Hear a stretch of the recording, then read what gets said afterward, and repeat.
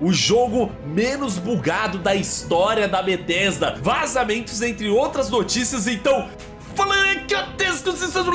no vídeo hoje trazer aqui pra vocês um monte de últimas notícias de Starfield antes do seu lançamento amanhã às 9 horas da noite pra quem tá comprando o acesso antecipado, né, a versão mais cara aí do jogo. Eu vou estar tá streamando ele na minha live 9 horas da noite pra quem quiser acompanhar. Então tô fazendo uma última rodada aqui de grandes notícias antes do lançamento do jogo. Demorou? Então deixa seu like, seu subscribe e bora começar isso aí. Começando com as especificações que eles lançaram no site oficial da Bethesda para PC, né? Claro, né? Porque no console é só você jogar, né? Não tem que ter especificação nenhuma. Então, interessante as especificações dele. É interessante notar como cada vez mais os últimos jogos de hoje em dia estão todos requerindo SSD para se jogar. Não é um mínimo super econômico, mas não é o Aldo Borogodó também, né? São processadores de 6 núcleos, processadores que vocês conseguem comprar 600, 700 reais. A placa de vídeo também não é muito ruim, mas também não é pouca coisa, né? Uma 1070 Ti. Então, Tá, tá, justo, né? É um PC relativamente barato, né? O que mata bastante é essa placa aqui, né? Essas placas aqui não são baratas exatamente. Requer uma placa de vídeo aí meio ferrada, um pouco cara. Até meu entendimento, a AMD Radeon tá muito mais barata que essa daqui, provavelmente. Mas, enfim, né? Uh, interessantes. O segundo ponto mais interessante aqui é que Starfield já tá entre os mais vendidos na Steam. Ele tá 12 semanas entre o top 100 aqui de mais vendidos. Então, mesmo se Starfield não agradar em notas, já é um sucesso de vendas garantido aí pra Bethesda, né? Isso que o jogo está no Game Pass. E isso me espanta, né? Por que as pessoas estão comprando tanto jogo assim se ele tá no Game Pass? É, realmente eu não entendo. Eu realmente não entendo, né? Eu acho que é pra garantir que tem jogo pra sempre. Eu não sei, ou porque quer usar o sistema da Steam, que tem outras coisas mais interessantes do que usar o sistema do Xbox no PC, pelo menos. Não sei. Realmente não sei. Eu não entendo. Mas já é um sucesso de vendas com toda certeza. E aí, né, uma das notícias principais, né, que a gente já tinha ouvido rumores falando de vazamentos de pessoas que estão jogando o jogo e estavam comentando que Starfield tá com muito pouco bug, né? O primeiro que a gente escutou foi desse rapaz aqui, o McVicker, que eu trouxe a informação para vocês, né? Mas esse jornalista aqui falou com outros cinco pessoas que,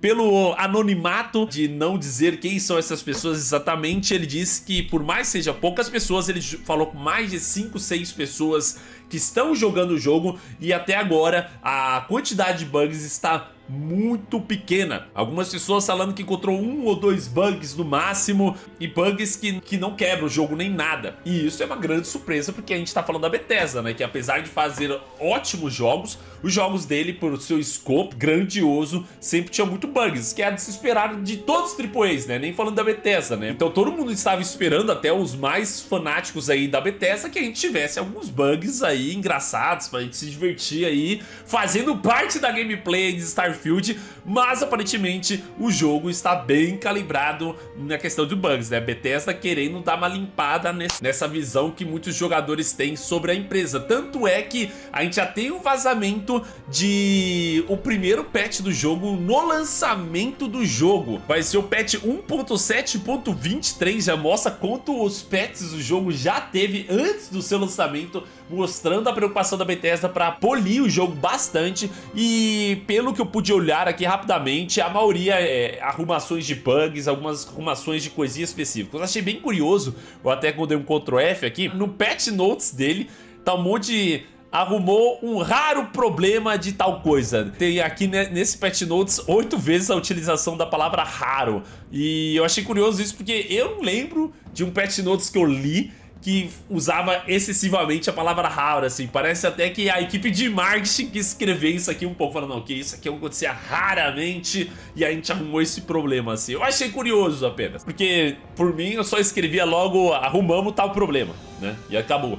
Então eu achei curioso essa quantidade. É raro. Ponto importante é, já tá saindo patch antes do jogo sair. Os caras estão constantemente arrumando os bugs do jogo. Isso meio que comprova um pouco essa questão de o jogo possivelmente estar com pouco bugs. E continuando falando sobre a opinião de pessoas que estão vazando algumas informações, né, a gente já tem algumas pessoas que jogaram o jogo já dando um pouco seus palpites de notas para o jogo, né? A gente teve o Eric aí, que aparentemente é um BR, nem conheço o trabalho do cara, honestamente. Ele falou que o palpite dele do Metatrick dos críticos seria 82, a gente já teve outra pessoa dando o seu palpite falando que é 90 de 100. E o mais interessante é que ele disse que em inúmeras ocasiões as suas escolhas impactam. Isso é que todo jogador de RPG quer ler, né? É uma ótima notícia pra gente, muito empolgante ouvir uma notícia dessa. E até questionaram esse rapaz aqui falando, seus comentários anteriormente era bem negativo com o jogo, o que mudou? E aí ele comentou que anteriormente ele tava bem desapontado pela um monte de load que tem no jogo, a viagem espacial desajeitada, os 30 FPS,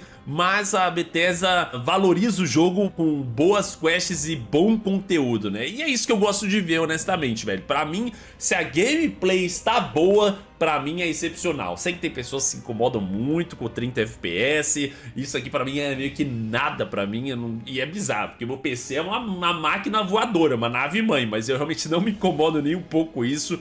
Acho que eu tô velho, já não enxergo direito mais. Mas vamos ver sobre essas outras questões aqui, né? Que muito loading e uma viagem espacial meio cagada, assim, certamente impacta a gameplay pra mim. Mas continuando aqui o comentário do rapaz rapidamente aqui, né? Ele comentou que quanto mais ele jogava, mais ele gostava. E por fim, eu encontrei esse Twitter que eu achei interessante. Tivemos aqui mais de 1.600 votações aqui de qual nota vocês acham que Starfield leva. E a maioria achou que a nota vai ser acima de 80. Honestamente, honestamente, meu palpite inicial também tá por volta disso aí, né? Vamos ter que ver só jogando pra ter certeza absoluta, né? E, novamente eu espero que eu quebra a cara e o jogo seja um 100 de 100. Mas por mais que seja acima de 80, pra mim, nas minhas notas, acima de 80 é um belíssimo jogo. Acima de 90 a gente tá falando aí de uns jogos excepcionais pra caramba, né? E que possivelmente Starfield possa acabar sendo. Mas aí só amanhã pra gente saber disso aí, né, galera? Por fim, pra finalizar o vídeo aqui, vou falar um pouco de alguns vazamentos visuais aqui. Tá tendo muito vazamento do jogo, muito, muito, muito.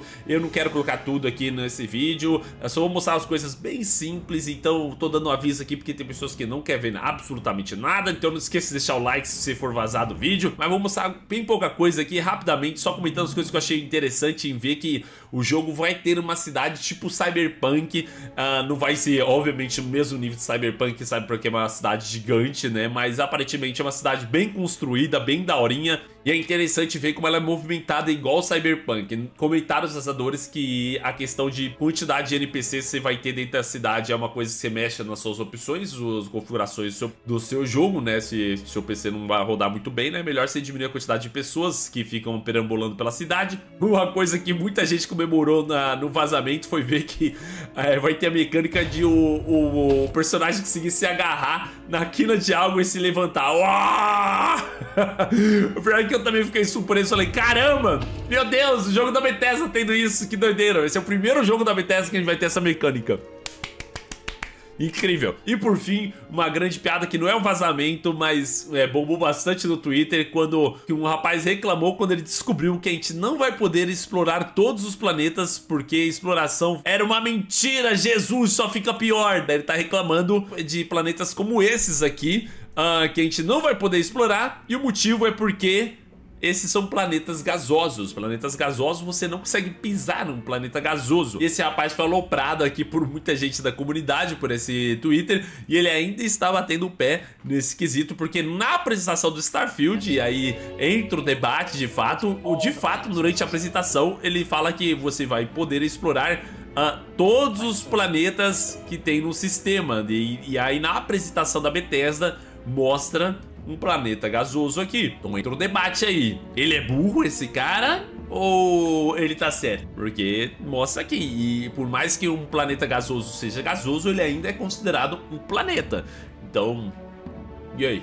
Ou é o debate nisso, né? E aí as pessoas falam pra ele não, mas você não tá entendendo, cara, você não consegue pisar no planeta gasoso. Daí ele fala, não, mas você poderia usar, sei lá, um, o seu jetpack e andar por lá, ia ser divertido, é um jogo, faça funcionar. Aí, tipo, sei lá, entrar no mesmo argumento de tá, você também tá esperando que a gente vai poder frequentar o sol também? Os sols dos sistemas que a gente for viajar, né? Não é bem por aí, né? No jogo dá pra fazer, né? Tudo no jogo de fato dá pra fazer. Mas tem coisa que você não pode esperar dentro do jogo, né? A gente, até agora, também, até o meu entendimento, você não vai poder adentrar em água dentro do jogo. Você vai poder dar uma nadada, imagino, né? Mas você não vai poder mergulhar no fundo do mar e explorar o fundo do mar, enfim. As notícias são essas, moçada. Deixa aí nos comentários quais suas notas vocês esperam do jogo. E no mais, espero que todos tenham uma ótima gameplay, todos se divirtam. Eu realmente espero que o jogo não flop, porque muita gente tá comprando o jogo, então eu não quero que todo mundo tome na bunda por causa disso. E no mais, né, todo mundo gosta de um RPG bem feito e que e eu tô, mano, mais que feliz esse ano aí com tanto jogo maravilhoso saindo.